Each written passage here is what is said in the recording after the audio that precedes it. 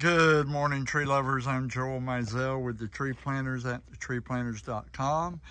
Just wanted to show you folks who are interested in privacy. One of our favorite privacy plants is the Podocarpus. And right here we are looking at these beautiful six to seven foot Podocarpus. These are available.